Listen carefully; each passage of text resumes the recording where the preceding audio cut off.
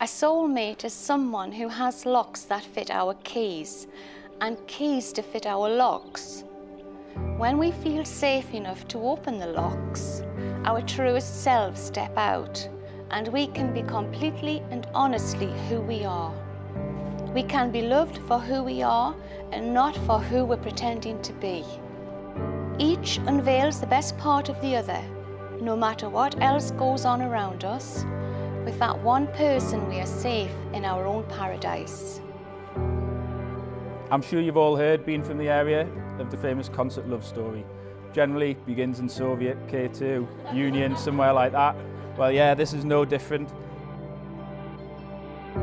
So I think the first time I ever kind of met Beth was a Halloween in Soviet. Um, she loves fancy dress. She was out in fancy dress again. Hairspray, wild hair, green and white hair. Dancing like a lunatic. Um, but eight years on, not much has changed. Nicholas, do you take Bethany to be your lawful wedded wife? I do. And will you love and respect and cherish her for the whole of your life together? I will. Bethany, do you take Nicholas to be your lawful wedded husband? I do. And will you love and respect and cherish him for the whole of your life together? I will. But as is life, sometimes things don't go the way it's planned. Uh, we went our separate ways. Beth went off to uh, America for a year. But fast forward to February 2016, when Beth, unbeknown to me, was in her second year at uni doing nursing. Um, and she just started a placement at Darlington Hospital, just around the corner from me in physio. So probably to both of our amazement and the biggest shocks of our lives, bumped into each other one day on the corridor, both dressed in the most flattering of white tunics.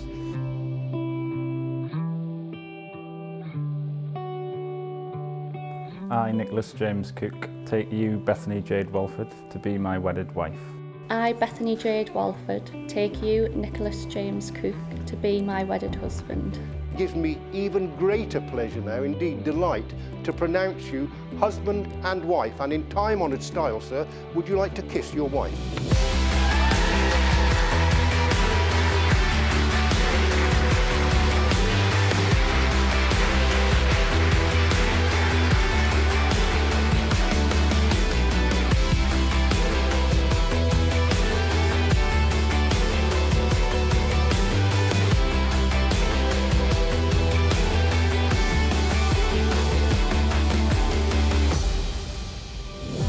My biggest thank you is to you, Beth, my beautiful wife. I'm sure everyone will agree with me when you say you look absolutely stunning today. Um, and I was speechless when I saw you walking up the aisle.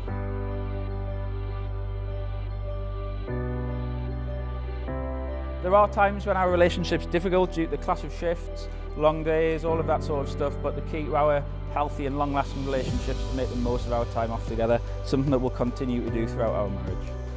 To my wife, my bride, my best friend and my soulmate, thank you for everything you have done for me and made me the happiest man alive. I'm extremely lucky today to be the one to marry you and I know it's the start of many, many happy years together.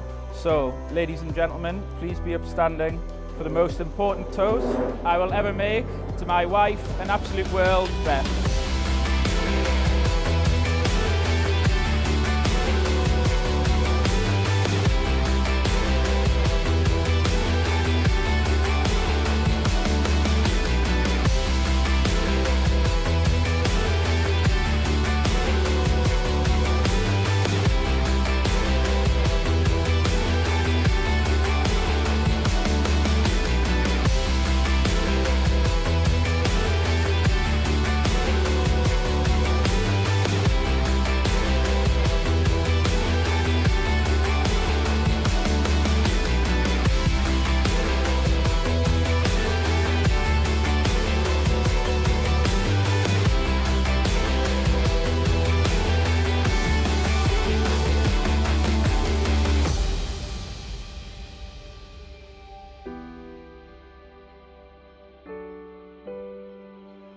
Our soulmate is someone who shares our deepest longings and sense of direction.